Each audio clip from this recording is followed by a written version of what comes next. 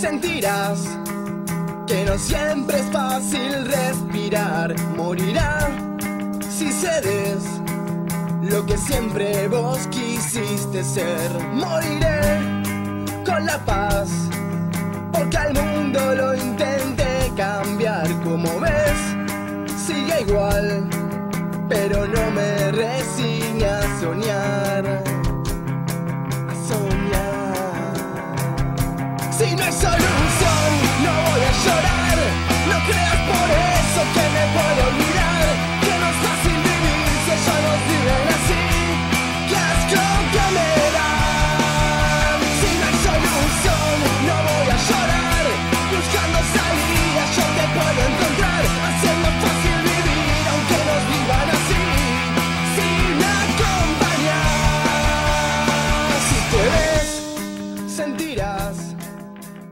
Fecha 11 del torneo de transición de la Primera Metropolitana se enfrentaron en el Monumental de Villa Lynch, Guayurquiza y Deportivo Armenio.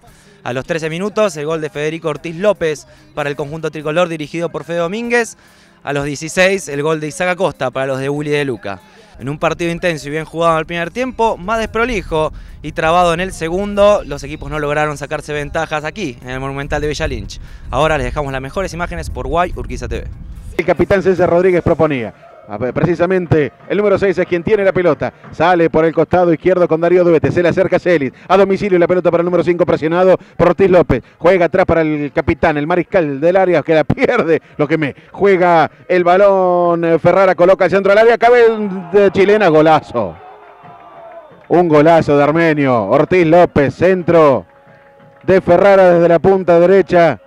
Ensayó una chilena magnífica. Claudio Leguizamón, avanza el número 11, se frena, esquiva la marca de Caudanes, viene saliendo Leguizamón en campo de Guayurquiza todavía, se frena también, juega atrás para eh, Celis, Celis para Duete, estamos jugando el minuto 13.50 del primer tiempo, gana Armenio 1-0, golazo de Ortiz López, juegan para eh, Viegas, Viegas para César Rodríguez que la domina, eh, pisa la pelota, piensa la jugada, juega adentro para Isaac Suárez, Suárez para Celis, Celis para Duete, Duete para Leguizamón, Leguizamón la pone adentro para Suárez, Suárez para Isaac Acosta que está el empate, viene, ¡Gol!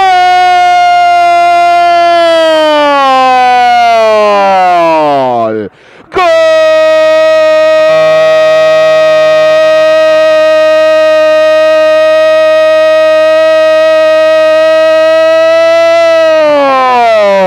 De Guayurquiza Isaac Acosta.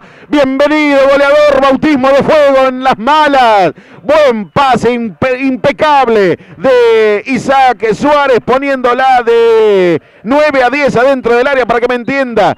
Y Acosta que picó esta vez, otra vez habilitado, pero también habilitado por en línea. Enfrentó al arquero Germán Oviedo y se la puso arriba, casi contra el ángulo de la mano derecha del arco, para decretar en el minuto 15 del primer tiempo el empate para el furgón, empate que era merecido.